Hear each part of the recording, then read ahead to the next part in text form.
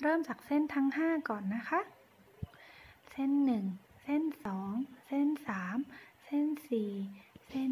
5 ต่อไปก็วาดโน้ตทับเส้นเลยค่ะ มีตามทับทั้ง 5 เส้นเลย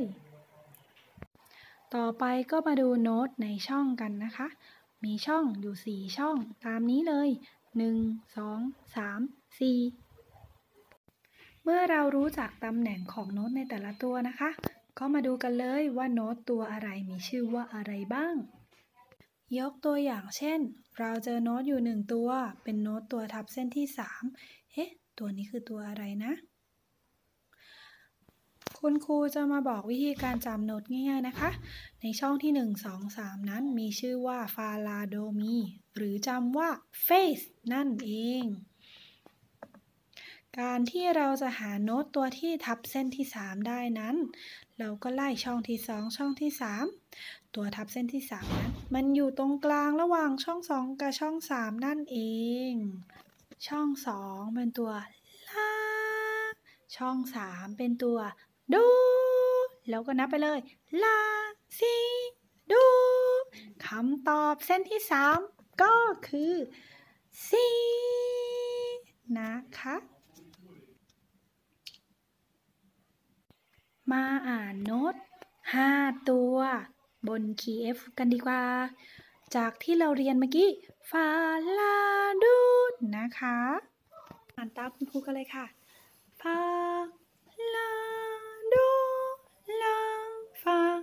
ลาดูลาฟาลาดูลาฟาแบบฝึกหัดที่สองฟาฟา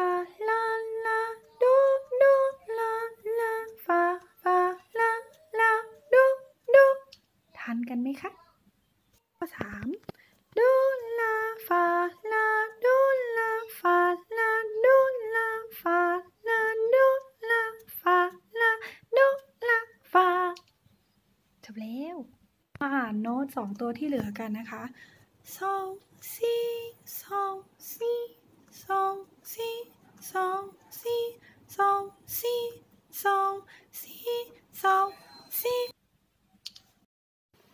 มาลองอ่านโน้ตกันนะคะ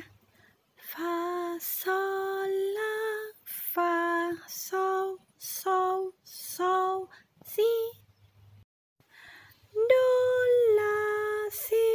โซ ฟา ดู ฟา จบกันไปแล้วนะคะ ถ้ามีคำถามหรือมีคำแนะนำอะไรก็ติดต่อกันเข้ามาได้นะคะ คุณครูรอฟังจากทุกคนเลย